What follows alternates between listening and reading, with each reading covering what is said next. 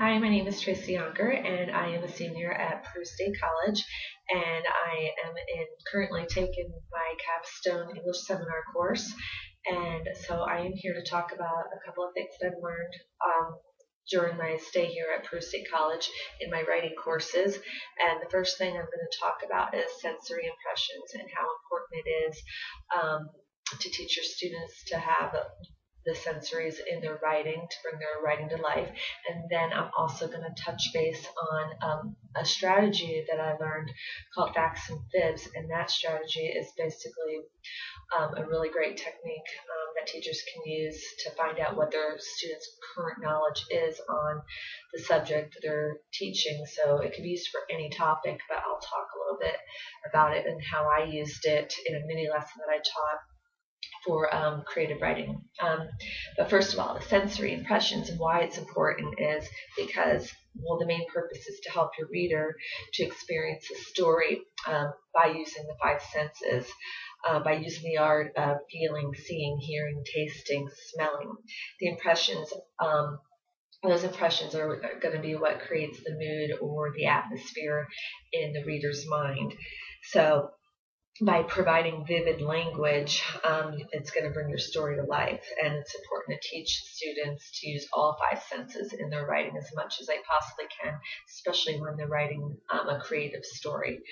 Um, sensory details, they, like I said, they provide the, they, they are meant to provide a picture in your reader's mind, so that way it's going to be really comparable to the same picture that you're having in your mind as you're writing the story.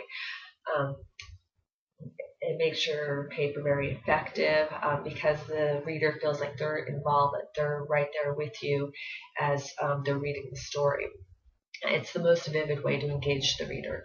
So, in order to know what your students already know about um, sensory impressions or creative writing at all, for that matter, um, like I said, um, facts and fibs is a great um, technique to use, a great strategy.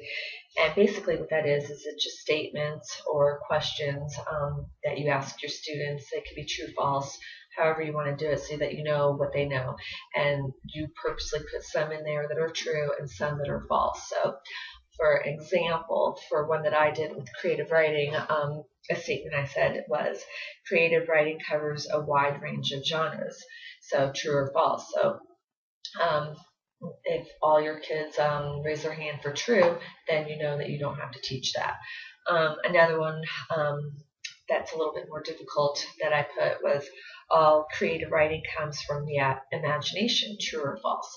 So to me, I think most students would write or they would vote false because you know they would think that most or all creative writing is from the imagination. It's fake. It's made up.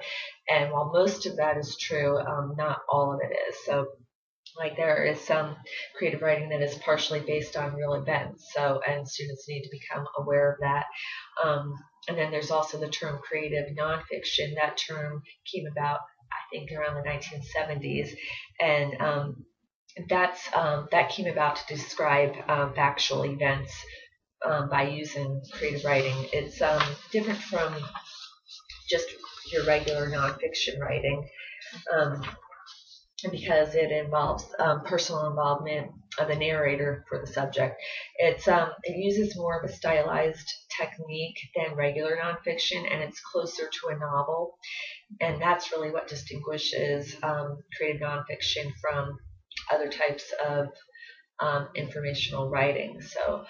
Um, but anyway, um, when you're using that technique, the facts and fibs strategy technique, you can if you have access to a clicker quiz, that's going to give you instant feedback because you can see right then and there who knows and who doesn't know.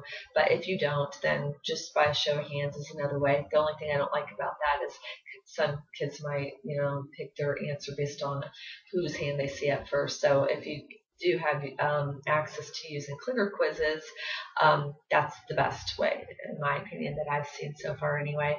So, um, but that's all I really wanted to talk about, and um, hopefully I gave you enough detailed information on that, or at least add a little bit more um, to what facts and fibs is and um, to sensory impressions. Thank you.